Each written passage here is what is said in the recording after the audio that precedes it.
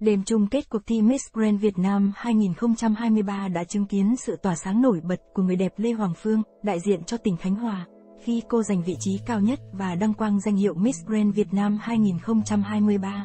Với chiều cao ấn tượng 1,76m cùng số đo 3 vòng là 86 đến 61 trừ 94 cm, Lê Hoàng Phương đã thể hiện sự hoàn hảo về nhan sắc và vóc dáng, đủ để ghi điểm trong mắt ban giám khảo và khán giả. Trước đêm chung kết, cuộc thi đã chứng kiến cuộc cạnh tranh sôi nổi giữa các thí sinh xuất sắc đến từ khắp nơi trên cả nước. Đêm chung kết không chỉ là một sự kiện thể thao và giải trí, mà còn là nơi thể hiện sự thông minh, duyên dáng và phẩm chất của những người đẹp. Lê Hoàng Phương không chỉ sở hữu nhan sắc mặn mà và hấp dẫn, mà cô còn là người tràn đầy tự tin và tinh thần thi đấu cao. Sự xuất sắc của cô đã thể hiện qua việc đăng quang danh hiệu Miss Grand Việt Nam 2023, mở ra cơ hội cho cô tham gia các cuộc thi quốc tế và gặt hái những thành công mới trong tương lai. Những danh hiệu Á hậu 1, 2, 3 và 4 lần lượt thuộc về Bùi Khánh Linh, Trương Quý Minh Nhàn, Lê Thị Hồng Hạnh và Đặng Hoàng Tâm Như. Sự cạnh tranh khốc liệt đã thể hiện sự xuất sắc của các thí sinh và làm tăng thêm giá trị của cuộc thi. Sau khi đăng quang, Lê Hoàng Phương tỏ ra rất khiêm tốn khi nói rằng chiến thắng của cô là nhờ vào sự may mắn. Cô thể hiện lòng biết ơn với tình yêu và sự ủng hộ từ khán giả và hứa sẽ đảm nhiệm tốt cương vị mới. Với sự tỏa sáng và tài năng của mình, Lê Hoàng Phương đang trở thành một biểu tượng đầy kiêu hãnh của người đẹp Khánh Hòa và Việt Nam.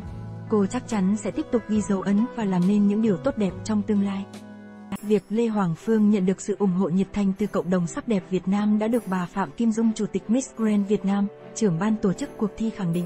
Bà Dung cho rằng điều này thực sự là một động lực quý báu cho ban tổ chức thay vì tạo áp lực. Thậm chí, một số khán giả yêu mến Lê Hoàng Phương đã thậm tình lình đe dọa ban tổ chức rằng họ sẽ phản đối nếu cô không giành chiến thắng, cười. Bà Dung cũng thêm, cá nhân tôi cảm thấy vui vẻ khi thấy đông đảo nhận thức đúng về một thí sinh mạnh mẽ. Về việc chọn Lê Hoàng Phương làm Hoa hậu, bà Dung chia sẻ rằng suốt cuộc thi, Lê Hoàng Phương đã thể hiện sự chuyên nghiệp và đẳng cấp. Cô không chỉ là thí sinh từng tham gia các cuộc thi sắc đẹp khác mà còn không ngừng cải thiện bản thân. Cuộc thi năm nay, việc phỏng vấn và tiếp xúc thí sinh trước khi đưa ra quyết định đã được ban giám khảo thực hiện một cách tỉ mỉ. Và với Lê Hoàng Phương, cô đã thu hút 90% sự tán thành từ ban giám khảo.